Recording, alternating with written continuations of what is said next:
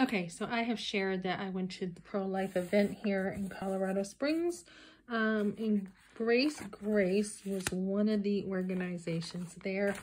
And um, my channel is mostly about helping women to be able to be um, mothers, wives and mothers, ideally, right? Um, but even if you don't have a husband or you're a single mom, you can still make it on your own.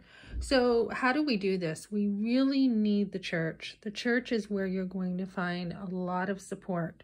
Um, not just financially, but physically, community is going to be a huge support.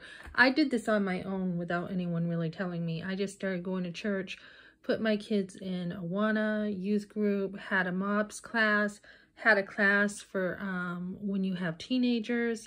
Um, my kids had um, camps, they had um, mission trips. So I kind of just leaned on the community um, in my time, my time, my spare time. I mean, not that I had a lot of spare time, but um, I think homeschooling with all the resources to help me homeschool all the books, um, I went to a convention.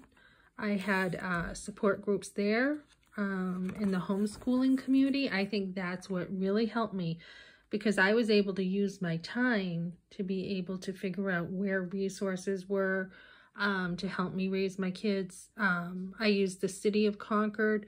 There was a lot there with free swim lessons, scholarships, and Boy Scouts. Um, what else? Sports. Yeah, my kids were in basketball, soccer. Um, having the extra time to be very involved in your kids' lives are that's going to make the difference. So homeschooling, where I educated myself, um, I was also educating my kids and myself. So that was a huge help for me. And just having the community.